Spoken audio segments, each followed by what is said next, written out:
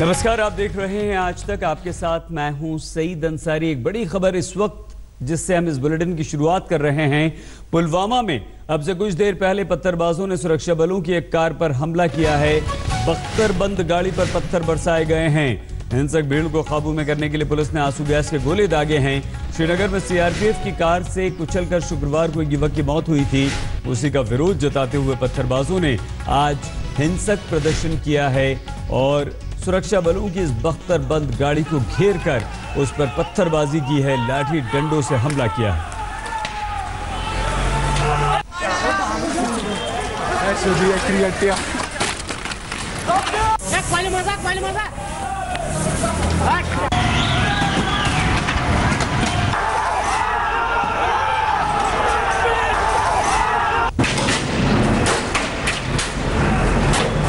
बख्तरबंद गाड़ी पे हमला न सिर्फ़ एक गाड़ी पे, बल्कि कई गाड़ियों पे, जो भी गाड़ियाँ वहाँ से गुजर रही थी, पुलिस की, सेना की, उन पर ये पत्थरबाज लगातार पत्थर बरसाते रहे और इस गाड़ी को भी इसी तरह से घेर कर पत्थरबाजों ने उस पर हमला शुरू कर दिया।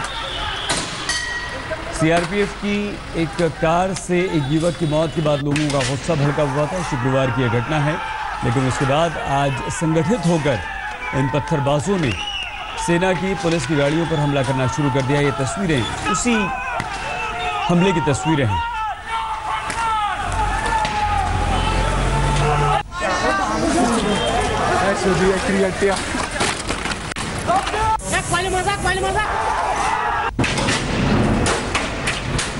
इस इलाके से जो भी सेना की गाड़ी निकली, उस पर इन पत्थरबाजों ने पत्थर बरसाए, हमला किया इन लोगों को पत्थरबाजों को तितर बितर करने के लिए आँसू गैस के गोले छोड़े गए लेकिन पूरे इलाके में इनकी तादाद देखी गई और जहाँ से भी जो गाड़ी निकलती, ये उस पर पत्थर बरसाना शुरू कर देती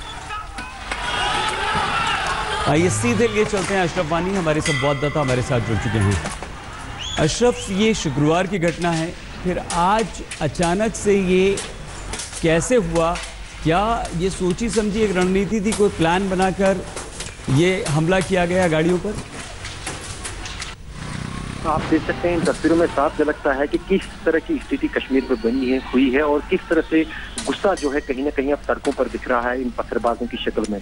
इस इन पत्थरबाजों में अगर आप देखेंगे तो अधिकतर जो है स्कूली छात्र हैं क्योंकि आज स्कूल खुले थे कश्मीर में और ये पुलवामा की घटना है। पुलवामा में ये पता चला कि आ, 26 मई को टंगडार सेक्टर में घुसपैठ की एक कोशिश में पाँच जो है घुसपैठिए मारे गए थे। अब परिवार का कहना है वहाँ पर कि उन घुसपैठियों में से दो जो हैं वो एक पुलवामा का है और दूसरा जो है अ, कुलगाम का है।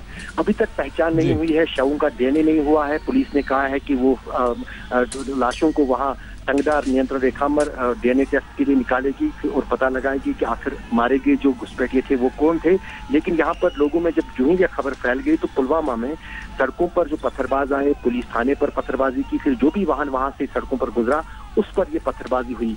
और अभी भी वहाँ पर हालात तनावपूर्ण बने हुए हैं। एक तरफ़ से जबकि सुरक्षा बल युद्ध विराम का जो है ये कर रहे हैं, उसका सम्मान कर रहे हैं, वो कोई रिटेलिएटरी एक्शन फ़िलहाल नहीं ले रहे हैं। लेकिन दूसरी तरफ़ इसी युद्ध विराम का जो है, फ़ायदा लेते हुए जो पत्थरबाज है या युवा है, वो सेना की टुकड़ी और सेना की गाड़ियों को निशाना बना रहे हैं। आँसू गैस के गोले छोड़े गए थे, अशरफ इन्हें तितर बितर करने की कोशिश की गई थी। इस समय क्या स्थिति है?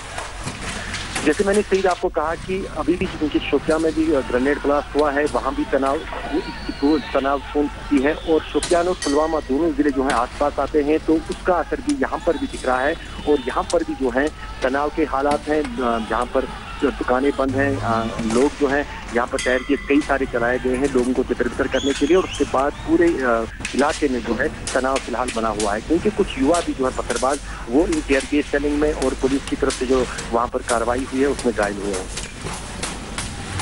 अशरफ बने रहिए हमारे साथ और जानकारी हम आपसे लेंगे, लेकिन इस वक्त जो तस्वीरें हम आपको दिखा रहे हैं, ये एक जून की जो तस्वीर दिखा रहे हैं, इसी हादसे में एक युवक की मौत हुई थी और उसी के विरोध में।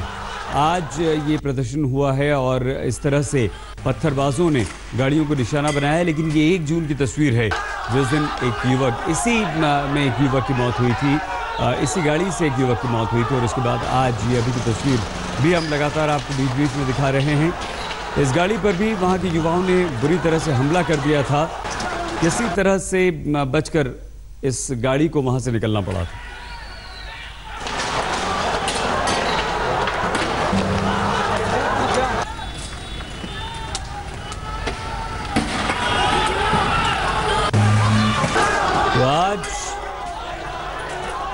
सैकड़ों की तादाद में पत्थरबाज सड़कों पर निकले।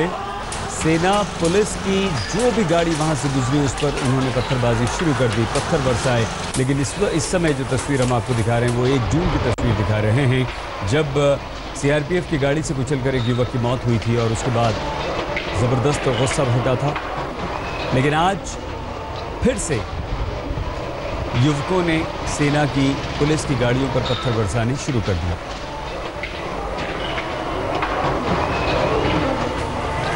ये दोनों तस्वीरें हम आपको दिखा रहे हैं।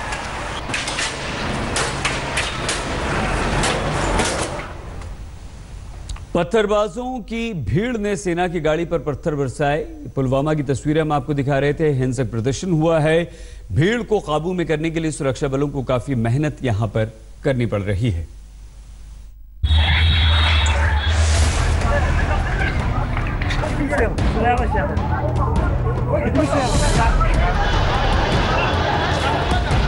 जम्मू कश्मीर के शोपिया ज़िले में कुछ समय के लिए आज फिर खौफ का राज हो गया। ये अफरा तफरी की तस्वीर उस ग्रेनेड हमले के तुरंत बाद की है, जो शोपिया के बाटपुरा इलाके के पास पुलिस पार्टी पर हुआ था।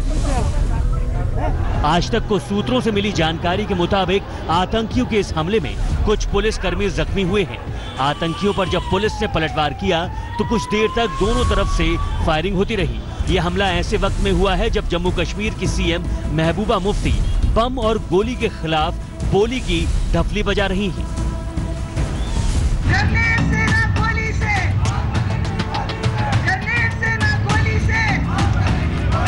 दो दिन पहले ही श्रीनगर के बादशाह ब्रिज पर शनिवार को सीआरपीएफ की गाड़ी पर ग्रेनेड हमला हुआ था। ये तस्वीरें देखिए। ये गाड़ी सीआरपीएफ की है और अचानक उसमें धमाका होता है।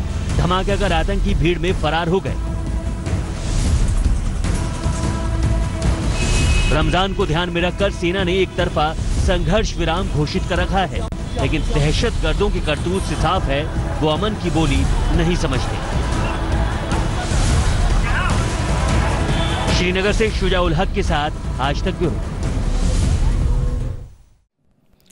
लेटेस्ट खबरों के लिए यू ही देखते रहिए आज तक। और इस वीडियो के पसंद आने पर लाइक शेयर एंड सब्सक्राइब करना ना भूलें।